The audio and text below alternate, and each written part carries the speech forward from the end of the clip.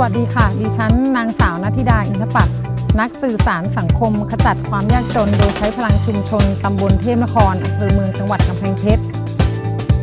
วันนี้ดิฉันได้มาอยู่กับกลุ่มฝึกอาชีพ ไม้กวาดดอกหญ้าและไม้กวาดทางมะพร้าว โดยการนำของคุณสมคิดศรีชม ผู้ใหญ่บ้านหมู่ 17 ตำบลเทพนคร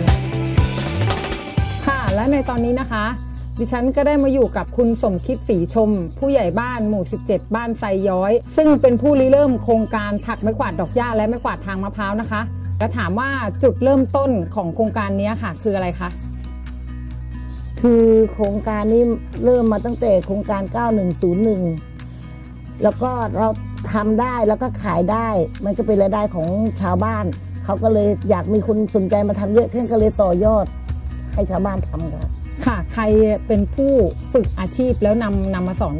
ต่อชาวบ้าน คุณสุมารีสังคพิชัยค่ะค่ะ เป็นวิทยากร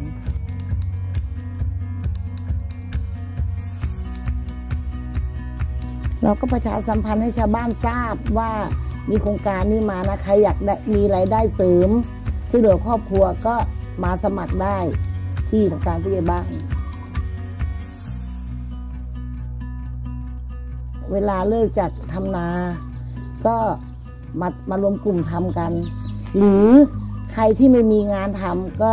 มาทำได้ทุกวัน ขายได้อันละ 40 บาท 40 บาทมันต้นทุนมันตก 28 บาท แล้วก็เหลือ 12 บาทคือเป็นกำไร แล้วก็แบ่งปันกับสมาชิกที่มาร่วมทำกัน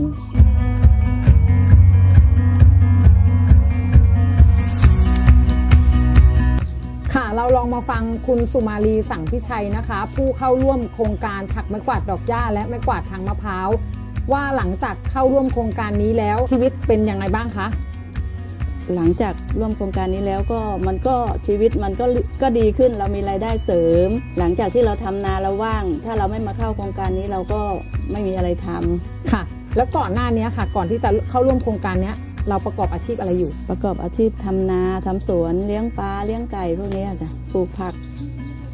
แล้วเพราะอะไรถึงตัดสินใจเข้าร่วมโครงการหรือว่าเรามีอาชีพนี้อยู่แล้ว ก็จริงๆแล้วว่าโครงการสมมาชีพเขาอะสอนให้เราให้ให้เราไปฝึกมาแล้ว ฝึกมาแล้วแล้วเราทำไม้กวาดเป็น แล้วทีนี้โครงการ 9101 มา แล้วเขาก็ชวนเราไปทำแล้วเราก็ไปเป็นวิทยากรสอนให้เขาด้วย ตำบลเทพนคร ยังมีหลากหลายอาชีพที่ทำให้ความเป็นอยู่ดีขึ้น เช่น การเลี้ยงแพะและการปลูกผักปลอดสาร หมู่ 11 บ้านคลองเรือ